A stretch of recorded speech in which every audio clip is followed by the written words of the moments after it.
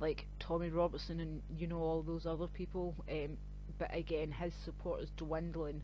Like I'd went down. Um, I've got some videos. I'd went down recently. Uh, this time when he was before he went to prison, and seriously, there was like. But I went down knowing everything I know. Do you know what I mean? And like there was honestly maybe a couple of hundred people there. That was it.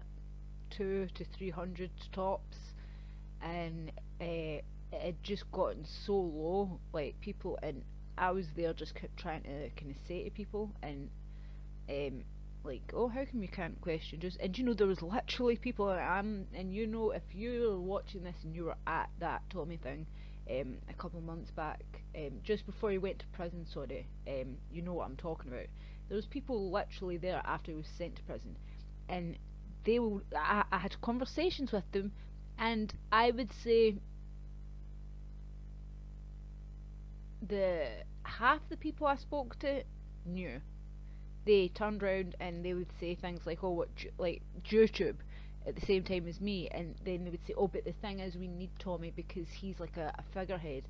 And then there's other people that just kind of like secret sources had said, it's like they've all they've got. It's all they've got, and it is sad. And at the end of the day, if you want to be able to do something, you need to try and build it yourself because it's certainly not going to happen through following a guy that walks around wearing Gucci shoes, has a 1.2 million pound house, an indoor or an outdoor pool, something like that. Ridiculous.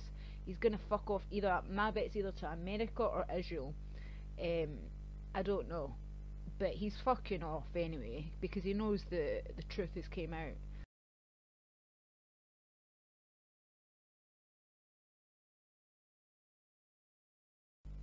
The 12 a british woman that's been arrested on uh, she was arrested on suspicion of filing a false complaint of gang rape. And i'm not saying that you know hashtag believe all women all of this kind of stuff but can you imagine that a british woman was raped by 12 muslim people and then she actually came out afterwards and said she'd been pressured now you can understand that it would be a diplomatic and a really bad kind of thing. And I mean, where was uh, Tommy Robinson and all these kind of you know um, people? Anybody really?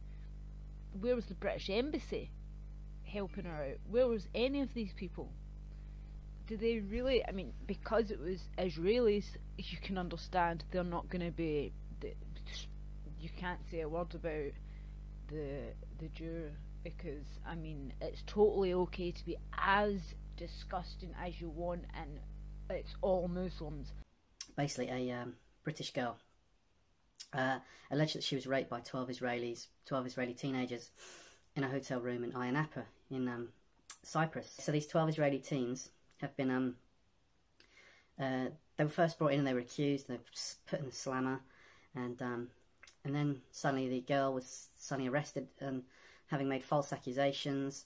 They've released the 12 Israeli lads um, who've claimed their lives are ruined because they get called rapists in the street back home. And but they also had they sort of filmed it and that sort of thing, um, that revenge porn thing. And uh, it seems it's very it's a, it's quite an unusual story. It's well worth looking out. The Daily Mail's followed it quite well, to be honest. Now, I think it's very, as I say, it's gone under the radar. That's why I thought it was interesting to sort of discuss it. Um, now, uh, how can I? Well, well basically, that um, so this girl is basically now claimed that she was forced to confess. She was forced to confess it was all made up, signed something under duress, and that's sort of the end of it. Those the twelve Israeli lads been released and sent back home. Why you might think, why am I? Well, I sort of it's. I think it's quite. I tell you why it's quite interesting because uh, well, I believe the girl. Right there you go. So I actually believe her. Um, I believe she probably was forced to make a confession because if you think about it, it's quite.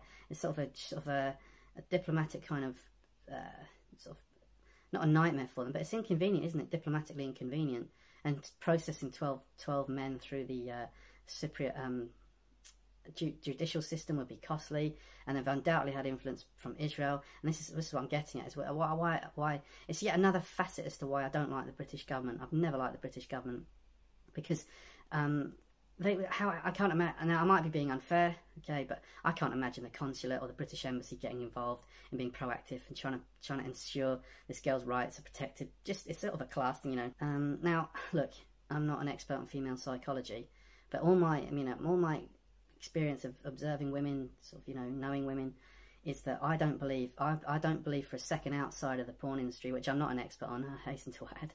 I, mean, I suppose I must be a bit. I'm I'm a, I'm a prude relative to I suppose, but um, but that you know the the notion that she's the one of the revenge thing pawns is that one of the guys claiming well she did consent to sleep with him and there's a photograph of him and that, that I believe that. She probably did consent to sleep with one of them but I can't believe she said oh you know what?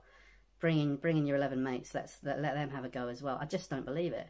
So that's rape isn't it? She was raped. And now you know so as I say it's all embarrassing and sort of can't um want rid of it get rid of it as quickly as possible so it's like, you know, fourth, right a sign here and that's the end of it. And the Cypriot authorities can, can forget about it. I've no doubt in my mind the Israelis would have been in there wanting 12 of their sons back home. And where's the British? We meant to, we, you know, it's not about having clout in that old imperial way, but why, I doubt they, why weren't they in there protecting our interests?